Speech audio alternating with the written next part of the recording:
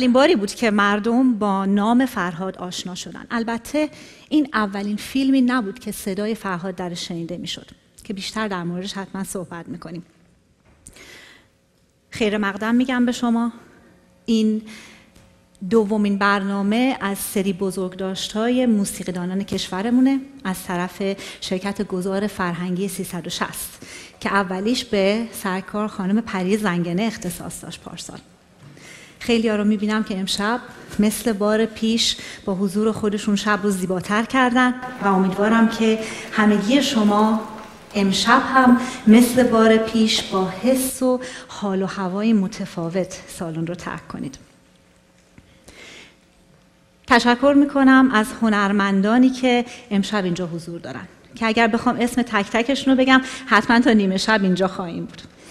تشکر می‌کنم از وزیر علوم، نوآوری و تحقیقات آقای دکتر رضا موردی عزیزمون که امشب اینجا حضور دارن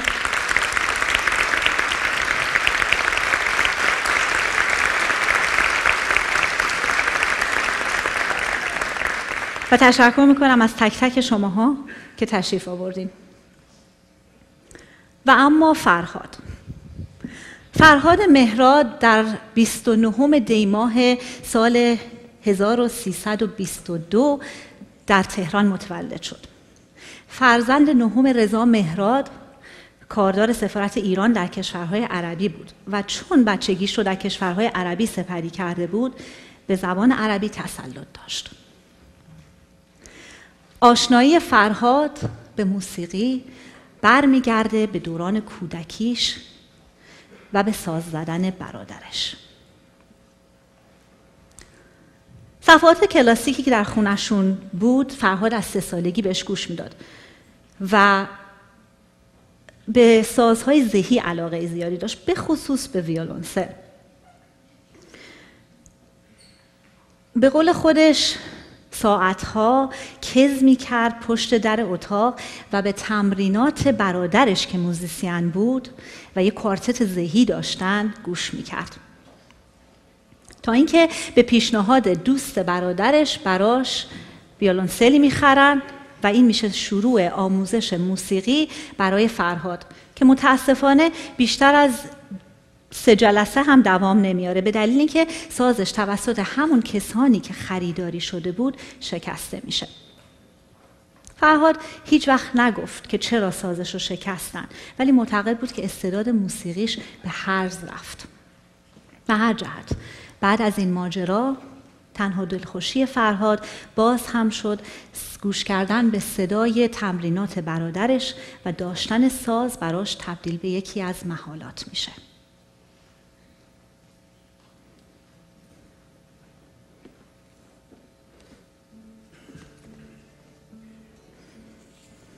پرواز یک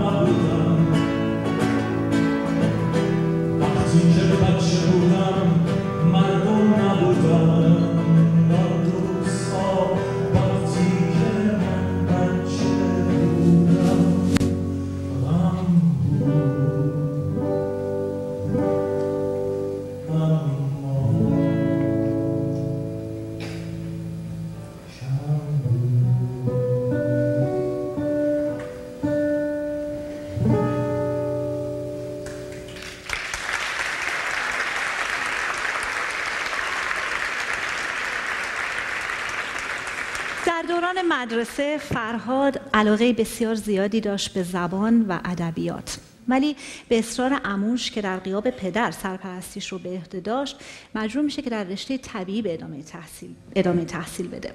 که همین بیعلاقگی هم باعث میشه که ترک تحصیل کنه. همین موقع بود که با گروهی از هم محلی های ارمنی آشنا میشه که ساز می‌زدن. و با اونا به نواختن و تمرین پیانو و گیتار مشغول میشه. این رفقا با همدیگه گروه چهار بچه جن رو تشکیل میدن و در کلاب های مختلف شروع به نواختن می‌کنن.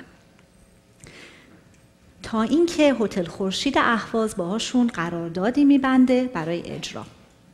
و در شب اول اجرا به دلیل عدم حضور خواننده اصلی رهبر گروه از فرهاد می‌خواد که آهنگا رو بخونه. فرهاد تا اون موقع فقط ساز می‌زده. به یک بار کارها رو دوره می‌کنن و با موفقیت کارها رو اجرا می‌کنن. تمام این کارها به زبان غیر فارسی بوده و فرهاد وسواس بسیار عجیبی در ادای کلمات داشته به طوری که کمتر کسی باور می‌کرده که این زبانها رو نمی‌دونه.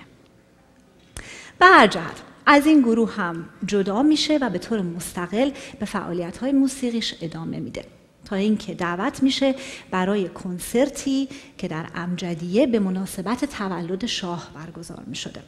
اونجا هم چند آهنگ به زبان غیر فارسی می‌خونه و همونجا بوده که ویدا قهرمانی هنرپیشه معروف سینما و صاحب کافه کوچینی فرهاد رو می‌بینه به گروه بلک کتس معرفیش می‌کنه که اون موقع ها به سرپرستی شهبال شبپره هر شب در کوچینی برنامه داشتن.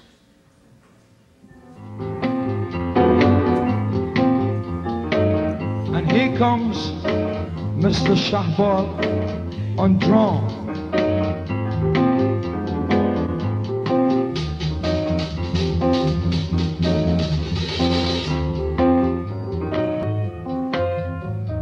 Big fat gentleman from Arya Shah, Mr. Manager on trumpet.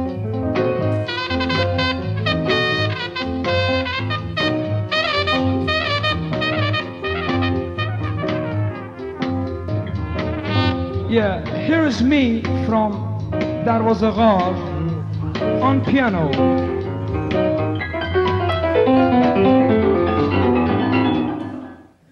شنیده بود این کلیپو فرهاد تو کوچینیک طرفدارای خیلی زیادی پیدا می‌کنه و کارهای بسیار بسیار زیبایی رو از گروه بیتلز، لنارد کوئن و ری چارلز اجرا می‌کنه اون موقع خواننده های آمریکایی های مقیم ایران برای ردیف جلو سر و دست میشکستن براش و فرهاد به ریچارز ایران معروف میشه. اگه یادتون باشه اول برنامه گفتم که رضا موتوری اولین فیلمی نبود که فرهاد درش خوند و بهتون قول دادم که بیشتر در این مورد براتون بگم. ولی من چرا بگم؟ از استاد فن دعوت می‌کنم که تشریف بیارن و بگن براتون. آقای عارف محمدی کارشناس و منتقد سینما.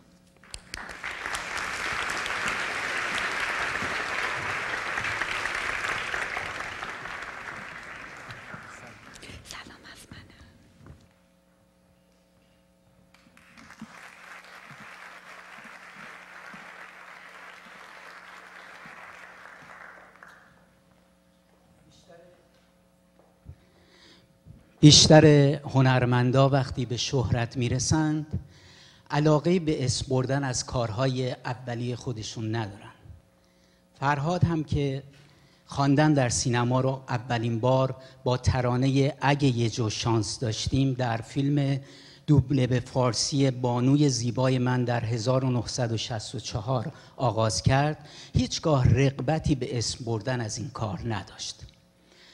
فرهاد خواندن رو در کافه های شبانه آغاز کرد. بعد توسط ویدا قهرمانی بازیگر سابق سینما در رستوران کوچینی دیده شد و بعدتر با اسفندیار منفردزاده کشف و به شهرت رسید. منفردزاده اولین بار از فرهاد خواست تا ترانه مرد تنها رو برای فیلم رضا موتوری ساخته مسعود کیمیایی بخونه. این ترانه با استقبال بسیاری روبرو شد به طوری که بعد از اون بسیاری از آهنگسازها، ترانه سراها و تهیه کننده های سینما به سراغ فرهاد اومدن. اما فرهاد که گزیدگار بود از 1348 تا 1357 فقط در چهار فیلم همکاری کرد. خدا حافظ رفیق ساخته امیر نادری زنجیری ساخته خسرو یحیایی ماهی ها در خاک میمیرن ساخته محمد دلجو و امیر مجاهد. مسعود کیمیایی از فرهاد خواست تا ترانه گنجشکک اشیمشی رو برای گوزن ها بخونه.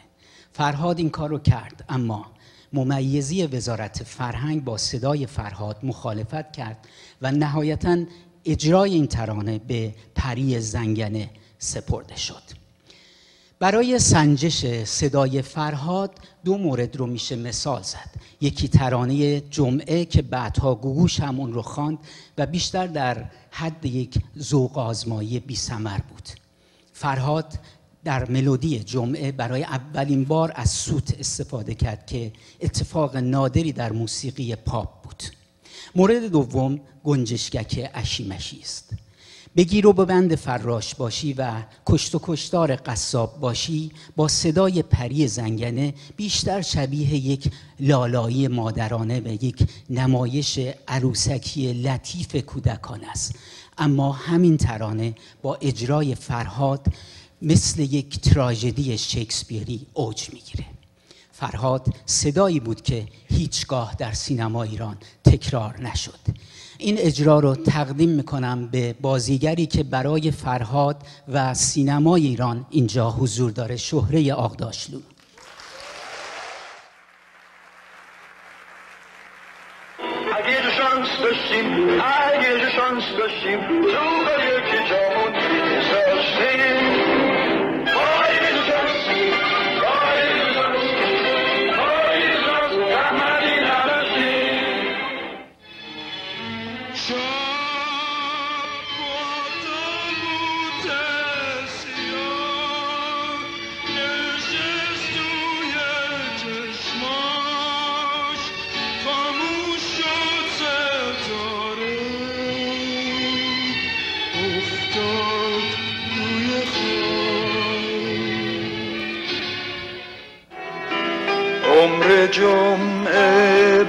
هزار سال می‌رسه. جمعه ها غم دیگه بیداد می‌کنه. خستم از همه خسته از دنیا. آسمان بشنو از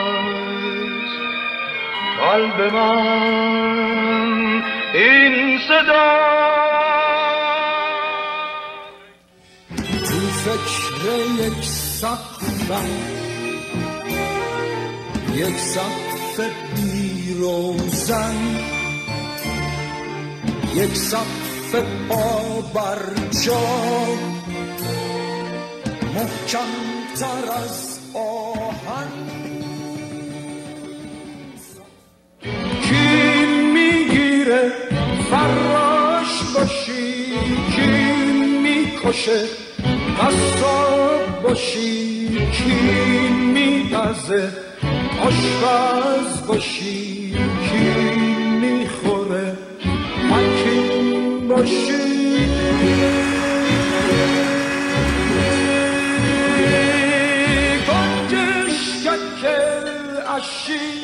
she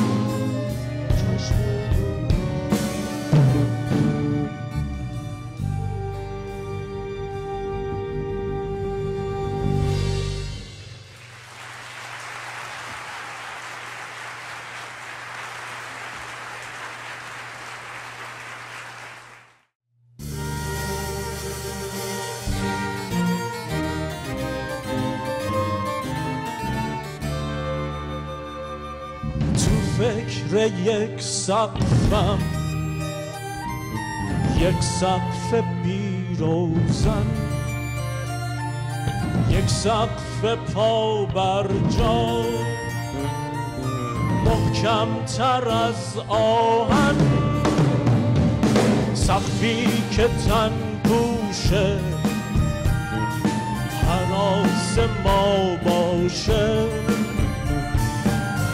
سردی شبها لباس ما باشه.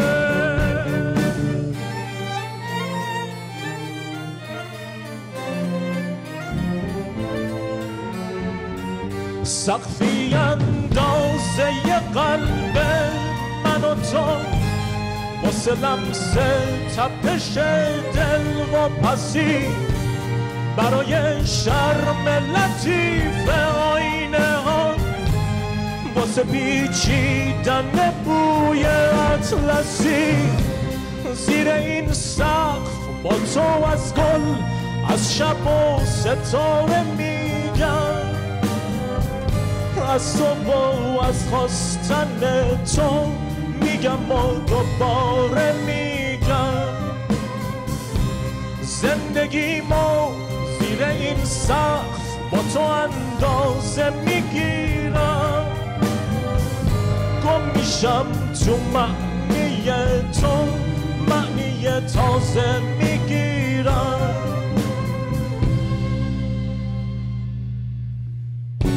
سقفمون افسوس و افسوس تن ابر آسمونه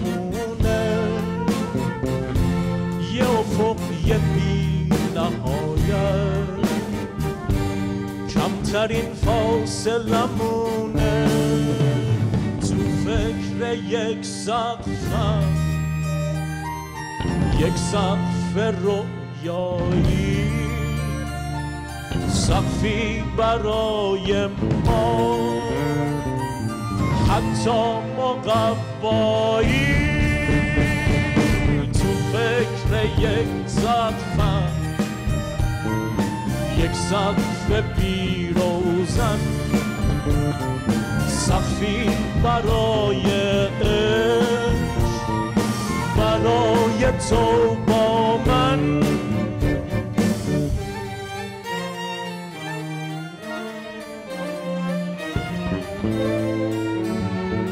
سقفی اندازه قلب من و تو. واسه لمس تپش دل و پسی.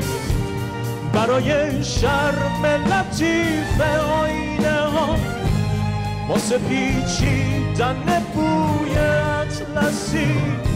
زیر این سقف اگه باشه میپیچه عطر تن تو.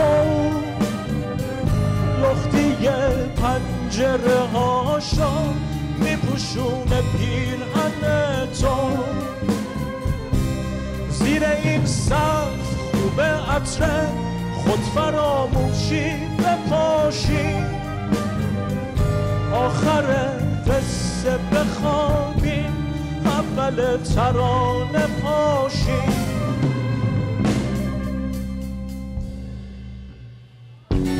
عقلمون افسوس و افسوس. تن ابر آسمونه یه افق یه بی نهایت کمترین فاصلمونه تو فکر یک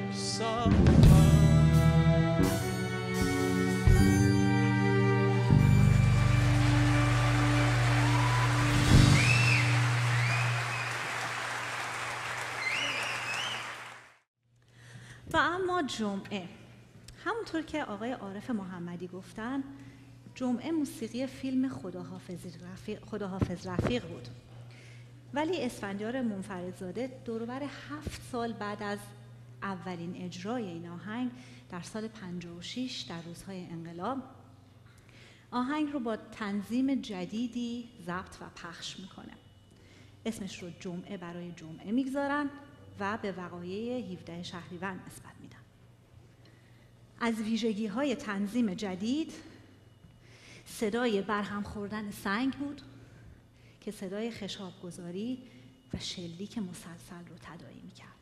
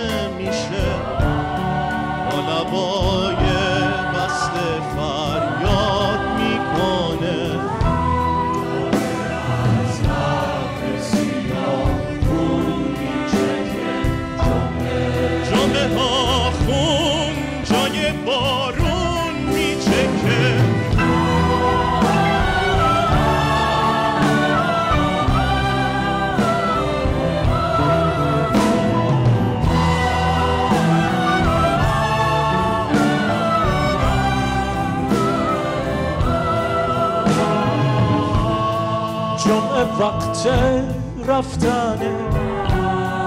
موسم دل کندن خنجر از پشت می‌زنه. اون که همراه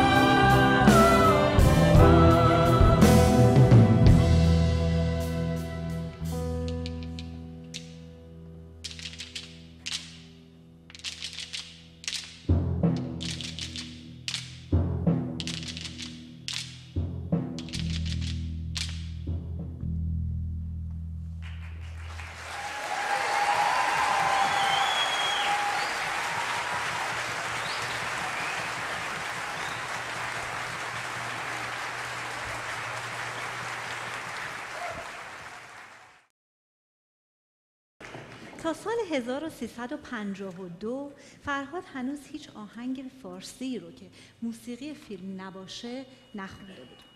اتفاق مهم این سال خوندن شبانه یک بود.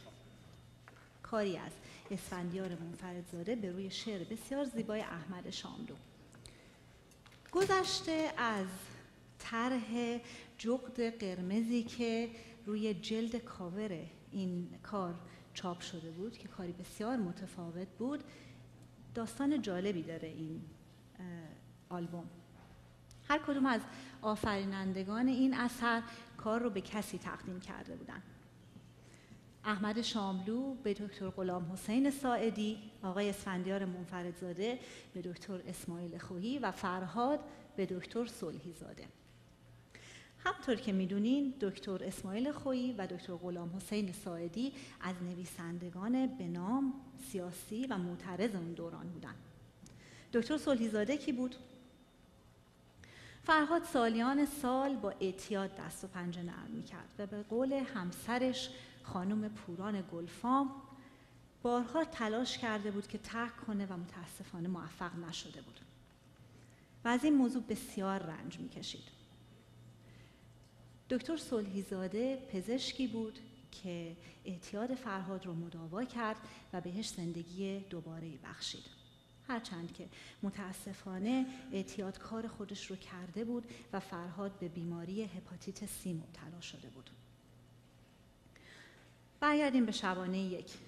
شبانه یک ساخته اسفندیار منفردزاده شعر احمد شاملو کاری سیاسی بود. و اسفندیار منفردزاده با اون حال و هوایی که داده بود به آهنگ با اون پچ پچ و صدای گرگ و بره و مارش نظامی اشاره داشت به ماجرای سیاه کل. فرهاد اما طرفدار هیچ فرقه و گروهی نبود. دوستانش فرهاد رو آدمی معتقد معرفی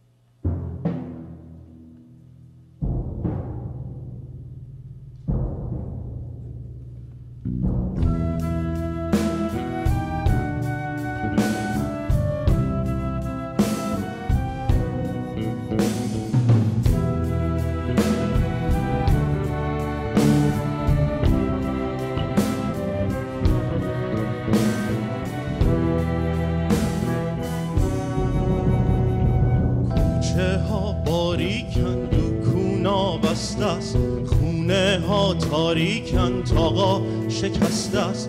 از صدا افتاده تارو کمونچه مرده می‌برن کوچه به کوچه.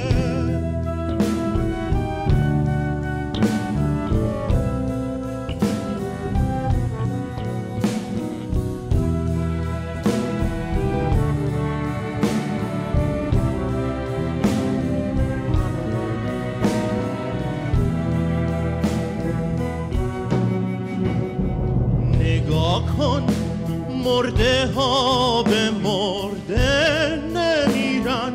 حتی به شم جون سپرده نمیرن. شکل فانوسیان که اگه خاموشه واسه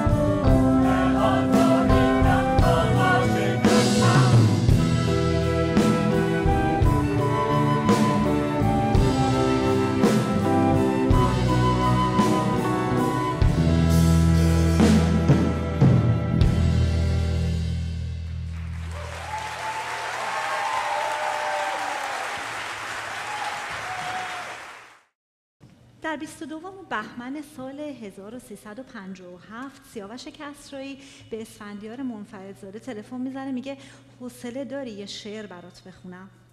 همون شب شعر وحدت رو به اسفندیار منفردزاده میده و اسفندیار منفردزاده هم همون شب آهنگ معروف وحدت رو می‌سازه و با صدای فرهاد ضبط می‌کنه که فرداش از تلویزیون ملی ایران پخش میشه.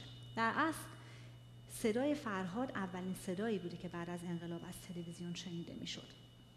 و بعد از اون مثل بسیاری از هنرمندان دیگه فرهاد هم به یک سکوت ناخواسته سخت طولانی کشیده میشه.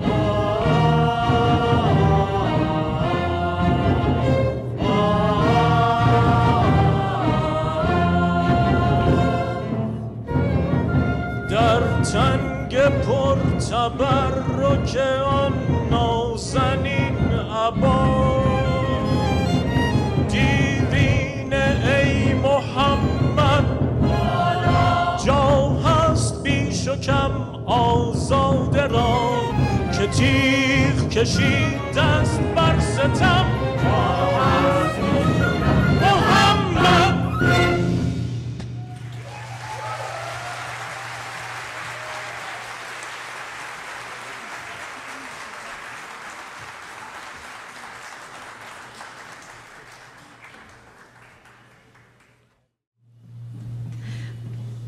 می‌خوام از این فرصت استفاده کنم. هم از کسانی که در تدارک این برنامه ما رو حمایت کردن از اسپانسرامون تشکر کنم و هم به اطلاع همگیتون برسونم که فردا ساعت چهار تا هشت بعد از ظهر در ملاسمن سکوئر اتفاق بسیار مهمی میفته و همه ما خوب جمع شیم برای اهدای مغز استخوان برای یک دختر جوان ایرانی. آخرین مهلتش هست فردا 20 آگست. خواهش می‌کنم که برسونید این پیام رو به گوش عزیزانتون و دست به دست هم بدیم. شاید بتونیم اه، راه حلی پیدا کنیم تشکر می‌کنم از تمام کسانی که امشب ما رو یاری کردن. آقای محمد فتووت. خانم افخم مردوخی سیویل Optica آقای کاظم موذن Persian Circle آقای احمد تبریزی Laluna Art Cafe مجله خردمند هفتهنامه شهروند هفتهنامه سلام تورنتو رادیو 24 ساعته صدای ایران تورنتو Luxuria Royal LePage کتایون فتاحیان. ممنون از همگی شما.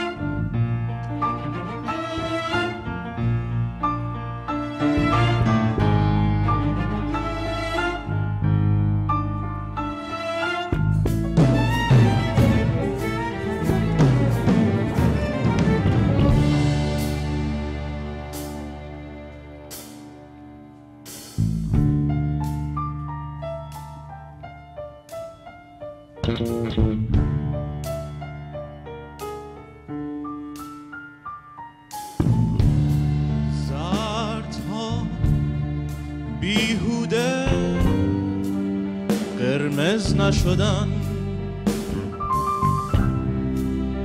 قرمزی رنگ نینداخته بیهوده بر دیوار. صبح پیدا شده اما آسمان پیدا نیست. صبح پیدا شده اما آسمان پیدا نیست. گرته روشنی مرده برفی همه کارش آشوب. بر سر شیشه هر پنجره بگرفته قرار.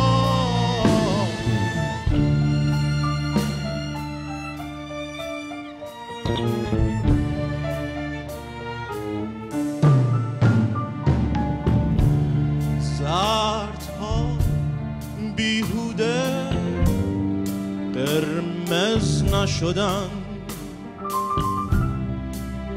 قرمزی رنگ نینداخته بیهوده بر دیوار صبح پیدا شده اما آسمان پیدا نیست. صبح پیدا شده اما آسمان پیدا نیست. گرچه روشنی مرده برفی همه کارش آشوب. بر سر شیشه هر پنجره بگرفته قرار.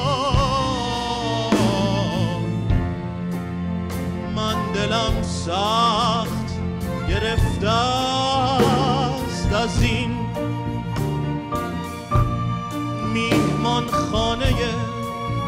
مهمان کش روزش تاریک. من دلم سخت گرفته است از این میهمان خانه مهمان کش روزش تاریک که به جان هم نشناخته انداخته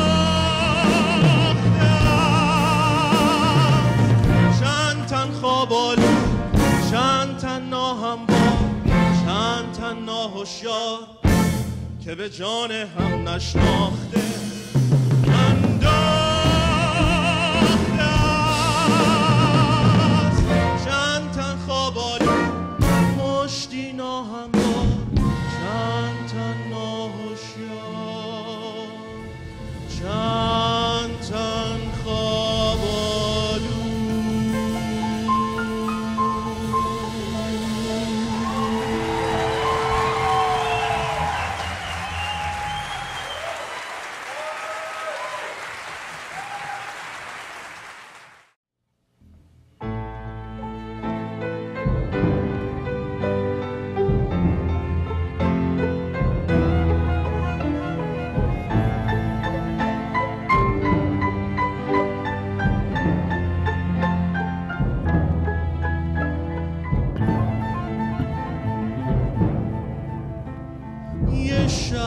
محتاب ماه میاد تو خواب.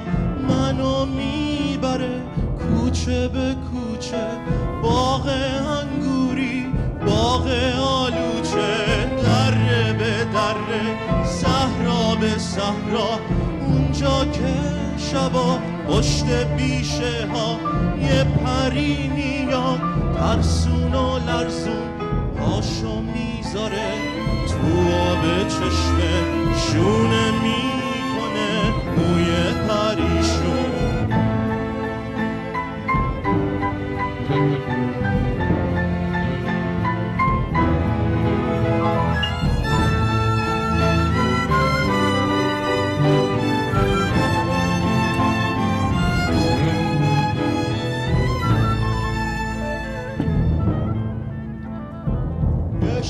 شب مهتاب ماه میاد تو خواب منو می‌بره ته اون دره اونجا که شبا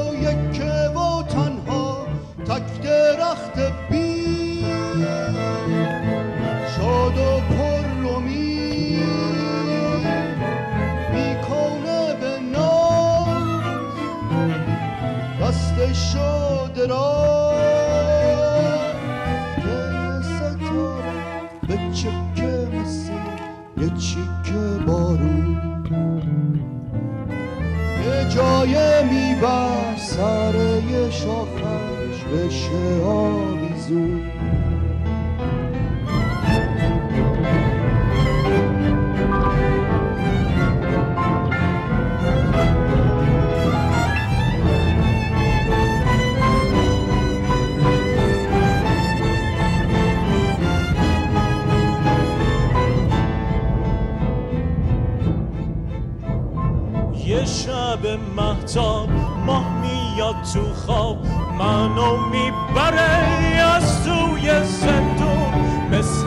می‌بره از توی زندون مثل شب پره با خودش بیرون می‌بره اونجا که شب سیاه تا دم سهر شهیدای شهر با فانوس خون جان می‌کشن تو خیابونا سر میدونا. امو یادگار مرد کینه دار مستی یا خوابی